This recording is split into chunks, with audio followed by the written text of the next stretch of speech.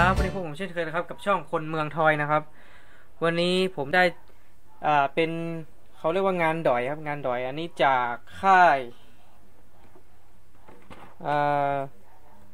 ค่ายกู๊ดใช่แล้วครับกู๊ดสมายคอมพานีครับโอเคด้านกล่องนะครับ ด้านข้างก็จะมีมาดูกันด้านหน้าก่อนครับด้านหน้ากล่อง จะมี figure มีรูปปุ๊บเนี่ยจะบอกปุ๊บ อันนี้เป็นตัวน่าจะเป็นรหัสครับเนี่ย C หนึ่งศูนย์โอเคมีสติกเกอร์ ด้านบนจะเขียนครับ Good Smile Company โอเคแล้วให้มันค่อยๆหมุนอธิบายไปนะครับเขียนเนี่ยด้านข้างก็จะมีเป็นรูป figure แบบท่าทางครับ ด้านหลัง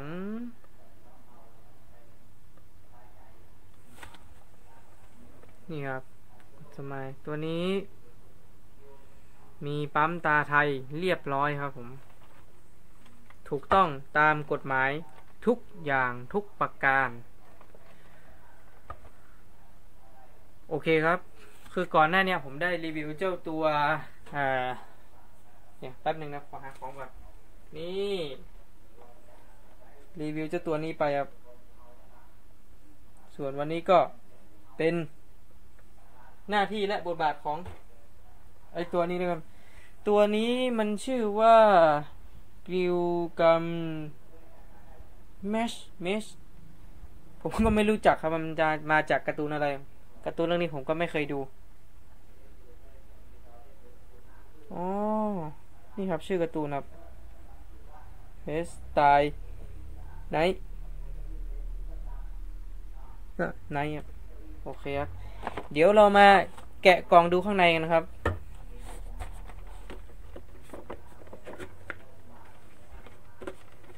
ตัวนี้ผมได้มาเป็นสินค้ามือสองนะครับ พอดีว่าผมได้สปอนเซอร์จากน้องคนหนึ่งครับ เขาได้ให้เจ้าตัวนี้มา ในการรีวิวครับเดี๋ยวขอเก็บกล่องก่อนนะเอาไว้ในมุมสักมุมหนึ่งโอเค เดี๋ยวเรามาแกะดูข้างในกันนะครับ ด้านในกล่องครับ จะมีคู่มือเดี๋ยวจะบอกวิธีการอ่า แกะหน้าเปลี่ยนหัว เป็นเปลี่ยน part อาวุธเอฟเฟกต์นะครับเดี๋ยวนี้เราเก็บไว้ก่อนครับแล้วก็จะมีฐาน วางเจ้าตัว figure มาให้ครับโมเดลโอเคครับเดี๋ยวเรามาดูชิ้นแรกกันหน่อยครับปุ๊บ มาพระเอกหลักก่อนดีกว่าครับ นี่ดูซะก่อนกอดอก นี่ยครับดูแววตาดูรายละเอียดครับแววตาชุดเกาะดีทงดีเทล ตรงเรียกว่าอะไรดี กระโปรงกระโปรงดีกว่ากระโปรงสามารถหมุนได้ครับ ช่วงไหลก็ขยับได้เช่นกันครับ หัว หมุนได้เคยขยับได้ครับ ตรงส่วนของ หัวขาอ่าด้านในจะมีข้อต่อในแป๊บนะครับเนี่ย ข้อต่อด้านในปุ๊บ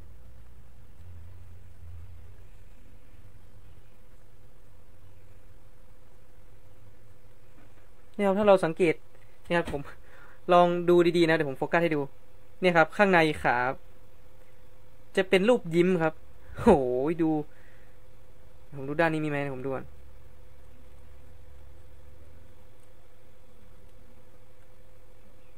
ขาด้านนี้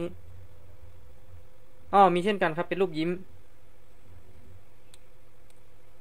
คือทำข้อต่อเป็นรูปยิ้มอะครับ เนี่ย ข้อต่อของระหว่างนี่ดิขาต้นขามาโอเคครับ เดี๋ยวเราวางเจ้าตัวเอกไว้ก่อนครับ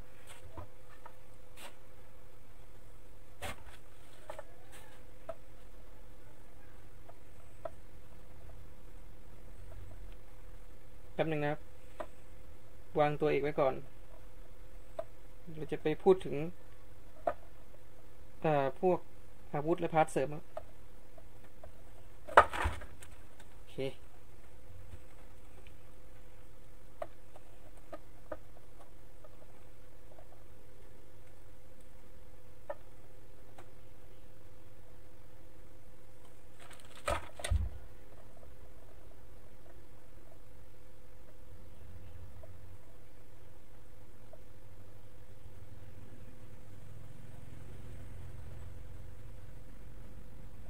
เอา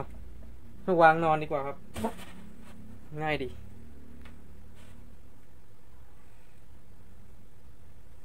มาดูที่ชิ้นถัดไปครับ นี่จะเป็นส่วนของใบหน้าครับ เป็นพัด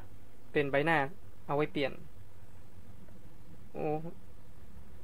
นี่ครับ จุดอีกจุดหนึ่งครับ ควรระวังครับ ตรงไอ้ตุ่มไอ้ต่างหูครับเนี่ย มันมันดูดง่ายมากครับ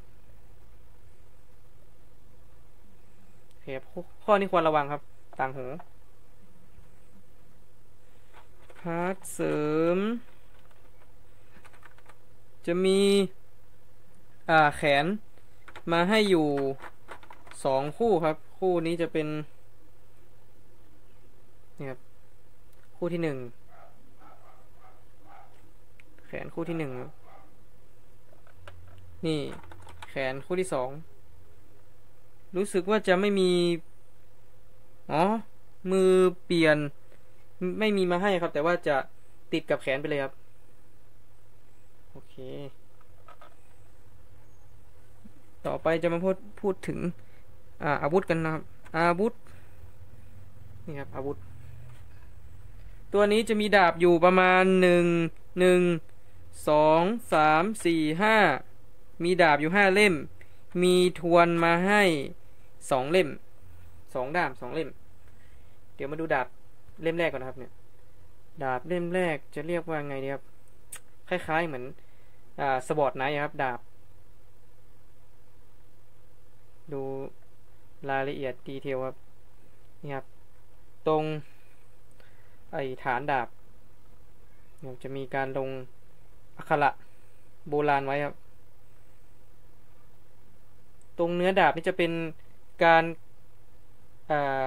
ทำเป็นร่องเข้าไปนะครับเนี่ยไม่ใช่ไม่ใช่ว่าทาสีนะครับ คือจะเป็นการเซาะร่องเข้าไปครับ แล้วก็ทาเป็นสีแดงนี่โอเคครับดาบอัน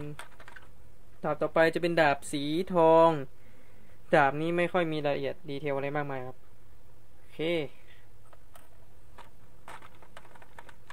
โอเคครับต่อไปมาที่ดาบอีกเล่มหนึ่งครับ ดาบนี้ถ้าเราดูดูหนังจักจักวงวงช่องเจ็ดจะใช้อาวุธนี้เป็นประจำเลยครับโอเคดาบที่สามอ่า อันนี้จะเป็นดาบคล้ายๆมันดาบ ดาบโรมันครับ รายละเอียดก็ไม่มีอะไรมากครับ มีแบบ การเซาะล่องเล็กๆ นิดๆ หน่อยๆทำให้มันดูมีดีเทลมีรายละเอียดตรง ด้านด้ามดาบ โอเคครับ ดาบสุดท้าย จะเป็นดาบทรงอ่าเขาเรียกว่าทรงคาตาน่าครับ เป็นดาบอ่าดาบญี่ปุ่น ดาบซามูไรครับคาตานะแป๊บนะครับ นี่ครับดาบคาตานะ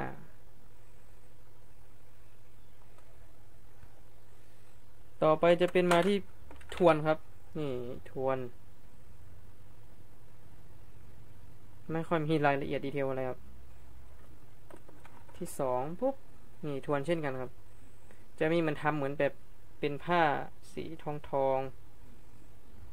โอเคครับ แล้วอเซสซอรี่เล็กๆน้อยๆครับ มีเหมือนคล้ายๆเหมือน เรียกว่าเหยือกน้ำกับเป็นแก้วน้ำที่ติดกับมือครับนี่แก้วน้ำติดกับมือ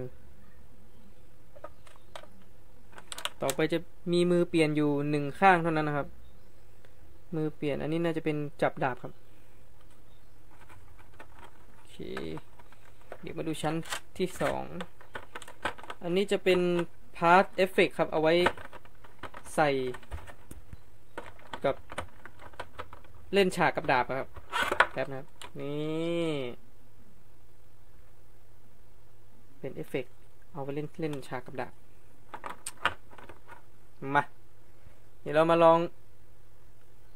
เล่นเปลี่ยนดาบอะไรกันครับ โอเคครับ มาครับ เดี๋ยวเรามาลองเปลี่ยน เริ่มจากการ ผมจะลองเปลี่ยนหน้าให้ดูนะครับ วิธีการเปลี่ยนหน้าครับ แล้วก็ถอดส่วนแรกก่อนคือ ผมโอเคครับถอดผมปุ๊บ ก็ดึงหน้าออกมาเลยครับ นี่ดึงหน้าเข้าไป แล้วก็เสียบหน้าใหม่เข้าไปครับนี่เอาแล้วครับเนี่ยเห็นไหมผมพูดไม่ทันขาดคำเลยต้องระวังครับ ต่างหู หลุดอีกแล้วครับ เปลี่ยนหน้าปุ๊บ แล้วก็เสียบผมเข้าไปเหมือน เดิมครับ นี่ เข้มไหมครับ เฮ้ยฮ่านี่จะเป็นวิธีการเปลี่ยนหน้าครับ ต่อไปจะเปลี่ยนแขนครับ เดี๋ยวผมจะทำให้ดูว่าเปลี่ยนแขนแล้วก็ดึง แกะออกมาปุ๊บปุ๊บ นี่ครับ เอาแขนแบบใส่ เอา อ่า เป็นแบมือแล้วกันครับ แบมือใส่เข้าไปปึ๊บ นี่อีกข้างเป็นกำมือครับนะครับนี่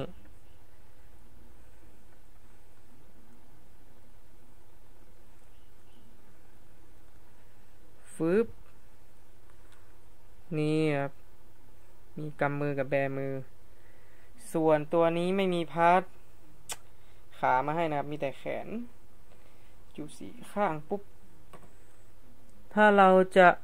นี่ครับ หลุดอีกแล้วครับเนี่ยเห็นไหมเนี่ย ต่างหูหลุดอีกแล้ว มันจะหายเอาวางไว้นี่ก่อนดีกว่า ยืมเข้ามารีวิวถ้าทำหายแล้วเป็นเรื่องเลย ถ้าเราจะเอาเป็นเปลี่ยน เป็นการจับมือครับ มันจะมีมือมาให้ครับ เราดึงออก แล้วเอามือที่เป็นเป็นมือแถมครับ มาให้เนี่ย จะเป็นมือมีรูๆไว้จับอาวุธอะแล้วก็เสียบเข้าไป แป๊บนะครับ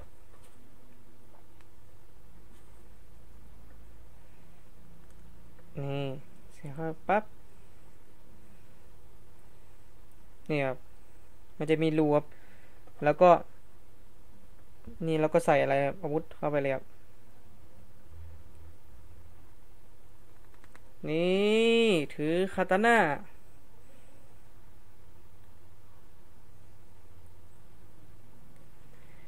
เปลี่ยนเป็นจับ ผมชอบที่สุดอะอาวุธที่มีมาให้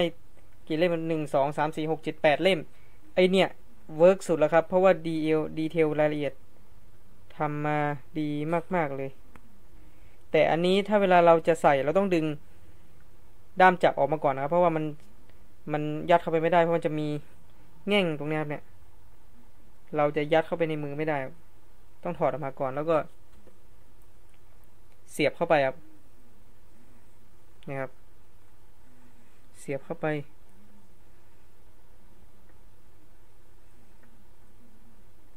ปุ๊บพอเสียบไปเสร็จปุ๊บแล้วก็เอา อาวุธเข้ามาใส่ครับเห็นครับ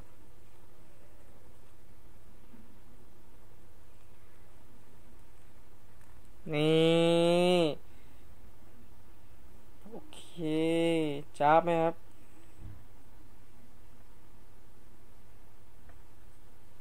นี่โอเคครับ ดี๋ยวยังไงอย่าลืมนะครับ ฝากติดตามฝากกด Subscribe กับทางช่องคนเมืองทอยด้วยนะครับ เดี๋ยวเราจะมีคลิปดีๆ มีของเล่นใหม่ๆ อาจจะเป็นพวกเกม คอลเลกชันเกม ของเล่นใหม่ อะไรมาอีกเพียบเลยครับ ต่อจากนี้ไป โอเคครับ อยู่ในช่วงโควิดครับ ช่วงนี้ มีเวลาทำวิดีโอ ผมไม่ได้ทำวิดีโอมาประมาณโห วิดีโอที่ค้างไว้มาทำมา คือวิดีโออะค้างไว้ไม่มีครับแต่พวกของเล่นที่ค้างไว้ที่ยังไม่ได้ทำเนี่ย คือโคตรเยอะ ช่วงนี้ก็จะปล่อย น่าจะปล่อยทุกอาทิตย์ครับ อาทิตย์ละหนึ่งคลิป โอเคครับ อย่าลืมนะครับ กดติดตามกด Subscribe กันด้วยนะครับ กับคนเมืองทอยนะครับสำหรับวันนี้พอแค่นี้ก่อนแล้วครับ สวัสดีครับ bye bye bye bye bye โอ้แขนหลุด แขนหลุด โอเค bye bye bye bye